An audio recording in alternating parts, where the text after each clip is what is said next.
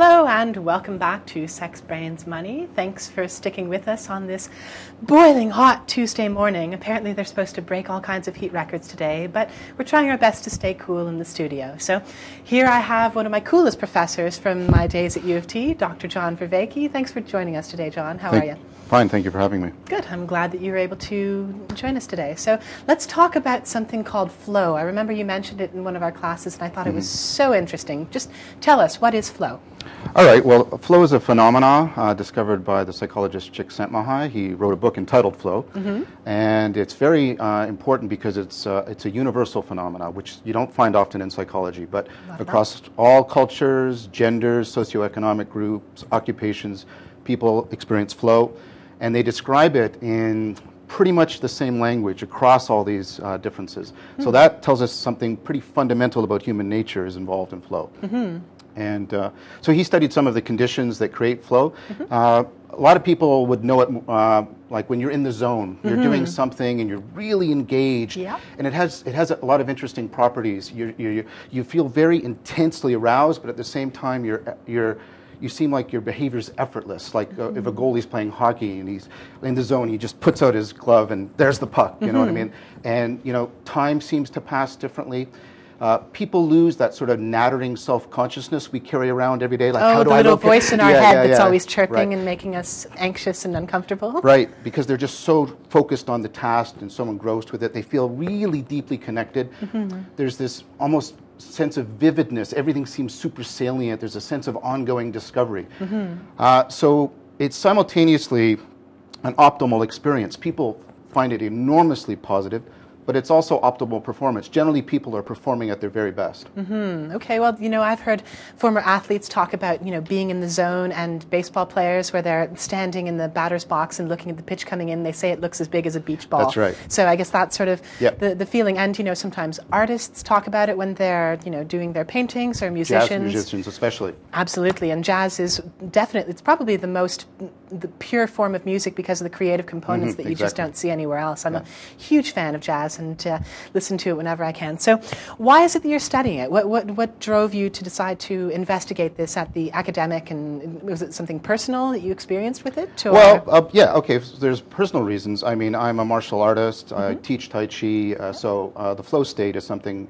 I experience very uh, very constantly. I also get in the flow state often when I'm lecturing. Ah, yes. uh, and so it it has a personal meaning to me, but I'm also very much interested in it as a cognitive scientist because mm-hmm. I think it reveals, as I said uh, earlier, something very deep about human cognition and the way it works. Mm-hmm. Uh, so my colleague, colleague and I, uh, uh Ariane uh, Herrera uh, Bennett, we're, we're proposing a model for what we think is going on in the brain mm. when people are in flow. Okay, so tell us a little bit about that. Uh, well, I guess the best way to try and describe it is uh, to first of all connect it to an experience I think everybody's had. Everybody's had an insight experience, mm-hmm. a moment where you've had that aha, yeah. where you realize, oh, the way I was looking at this problem was wrong. I have to reframe the problem totally. Mm-hmm. So you get that aha moment.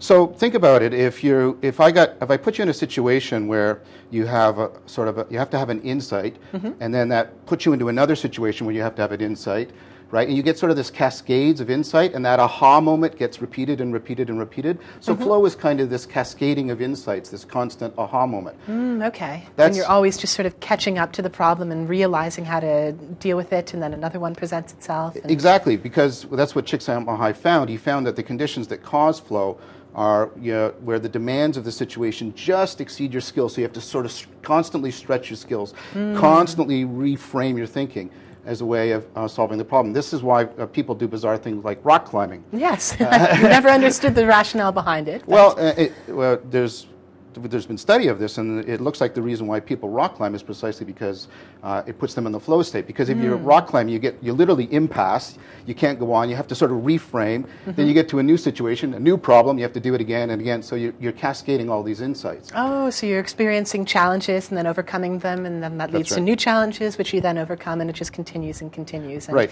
So what's happening in the brain when all this is going on? Well, we think what's happening um, is that um, a, a very important form of implicit learning is occurring. Mm-hmm.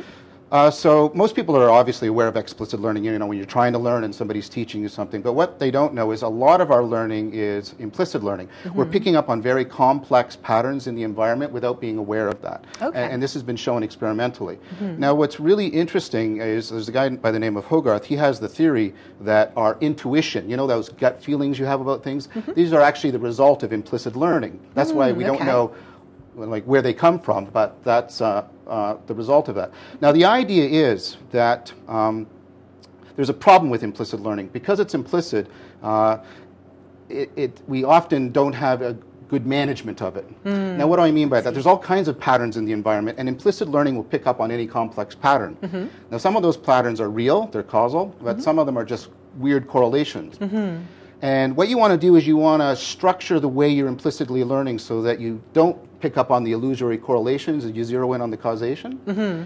And so what Hogarth proposed is that you have to get really tight feedback and the error signal has to be really costly to you, really challenging to you. Mm-hmm. Now, what uh, Ariane and I propose is the characteristics that Hogarth said would be really good for improving our intuition mm-hmm. are exactly the characteristics that Csikszentmihalyi say cause flow. Oh, so there's the connection right, right there. So the idea is what you're doing, what flow is, it's an evolutionary marker. Mm-hmm. It's saying you're doing really good implicit learning. You're mm-hmm. acquiring really good intuitions. Yeah. Now, like everything evolutionary, it can be hijacked. Like you know, gambling hijacks our risk thing, right? And you know, we can flow can be hijacked by video game and other thing. But we we think that the original evolutionary purpose was basically telling the brain. Mm-hmm you're, you're picking up good intuitions mm-hmm. and you're, you're, you're, you're practicing really good insight. Mm-hmm. Both of those would really be powerful for improving our survival.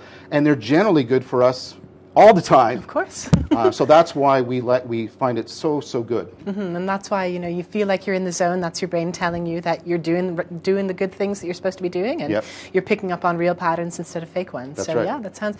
It, I, I, personally experience it when I'm driving and when I'm riding my mountain bike, and uh, when I'm you know going down a big hill or something like that, and I have to figure out exactly how fast I want to be going when I hit the curve. If I'm going, if it's something where I'm you know going on a easy trail, I get bored very quickly. Yes. If it's something too steep, I get terrified. So right. I guess flow is that middle marker right in between too challenging and too easy. That's right. If it's too challenging, we get anxiety. If it's too easy, we get boredom. Mm-hmm. And the thing is, that channel, it's not, a, it's not the same thing as pleasure. Uh, flow is different than pleasure. Mm-hmm. In fact, flow seems to contribute much more to people's evaluations about their overall quality of their life. Mm-hmm. So the more often people flow, yep. the more they sort of report that they like their life when the mm. quality of their life is good. Well, that's great. So, real quick, just to close out, why is it important? and why is flow relevant to everybody? Well, uh, I think flow is relevant, first of all, because it, you know, it's a way of improving your insight, mm-hmm. uh, which is really important for solving problems. It's really good for improving your intuition, and many of your judgments are based on your intuition, so mm-hmm. you want to improve that.